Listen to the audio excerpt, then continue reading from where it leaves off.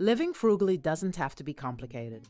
It's not about being as cheap as possible, it's about being intentional about how and when you spend your money. Let's count down the eight golden rules you need to know to truly live a frugal life. Number eight, be intentional with your money.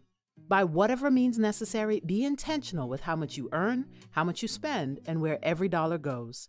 This allows you to prioritize the things that matter most to you. And when you do, you can cut down the things that don't mean much to you and spend on the things that matter. You don't have to stop buying your favorite name brand cereal or forego your adventurous vacations in favor of a staycation. If those things truly bring you joy, then indulge, but take a look at the other areas you spend money and determine if you need those as well. When you become intentional with your money, you'll be able to create your own approach and decide where you have to cut back and where you want to let yourself live. This is the cornerstone of frugal living. Successful budgeting, saving, and investing will always be elusive without this foundational knowledge. Number seven, understand the difference between investing and spending. Although spending and investing may appear to be the same thing, as money is technically leaving your pocket, they are not. Investing is the exchange of money for an asset such as a residence, increased job training and knowledge, or a mutual fund share. Spending, on the contrary, is the expenditure of money for something that will most likely lose value and not provide long term benefits, like fancy dinners or a new vehicle. Being frugal does not imply that you should always choose to invest rather than just spend your money. You should live life to enjoy it occasionally, but as a golden rule, you should understand the difference. Learn how to put your money to work so that it makes you more money the majority of the time. This is how you enjoy a fuller and more quality life. Number six, buy less but better. Always diligently go for the product with the best value. To do this right, you sometimes have to choose quality over price. A $25 pair of sneakers may appear to be a good deal, but it isn't if you have to replace them every three months. An $80 pair that will last you two or three years will be a far better long term investment. You should never confuse frugality with cheapness. As a rule, frugality requires you to consider the long term value of any item on which you spend your hard earned money. You should think about an item's lifespan and utility. That means buying high quality goods even if they are more expensive. Understand that penny pinching isn't the best way of frugal living. You don't have to go for cheap alternatives, you just have to buy less but better, even if it means not minding the price tag. Spending as little money as possible upfront seems like you're being thrifty, but often it drives you to buy more over time to replace or supplement low quality products. Number 5. Know the distinction between a need and a want. Every day, throngs of advertisers devise new strategies to help you confuse needs and wants. It's a big deal for their business. In reality, your needs are quite simple secure shelter, nourishing food, physical exercise, good health care, basic clothing, and utilities. But how about the self cleaning, solar powered, lavender infused kitty litter box you can control via smartphone?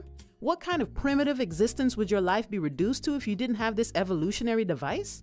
Even though it makes life easier, it's not a necessity, and you will discover that you can live comfortably without it. Knowing how to tell what you want from what you need is essential for making sound purchasing decisions. Mastering this skill is a key rule to frugal living. Otherwise, your needs will become so great that your paycheck or other sources of income will never be able to keep up. Number four, avoid consumer debt.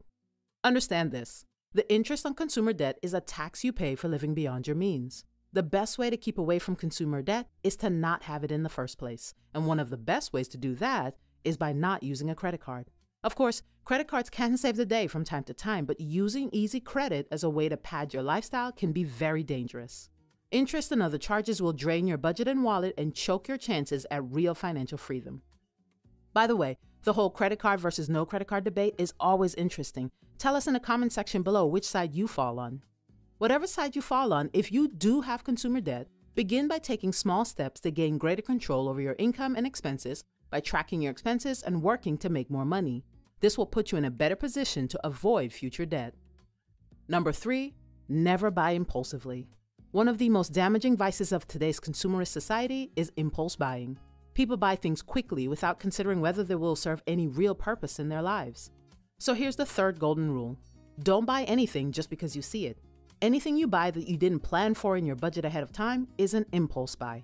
Let's be real buying on the spur of the moment could be a lot of fun. Like you walk into Target looking for diapers, and before you know it, boom, your cart is overflowing with Chip and Joanna's incredible throw pillows. But that joy quickly goes away when buyer's remorse sets in or when the credit card bill comes due. The best way to save yourself from this financial heartache is to ensure your hard earned money is on things you actually need. Give what you want some time, and if you still need it after a few days, go ahead and buy it. Another reason you should live by this rule is that piling things around us has the strange effect of crowding our mental space as well. So the less cluttered your home is, the clearer your mind will be. Number two, don't live to please others. To live a frugal life, you don't have to live to impress others and you don't have to put your life on display.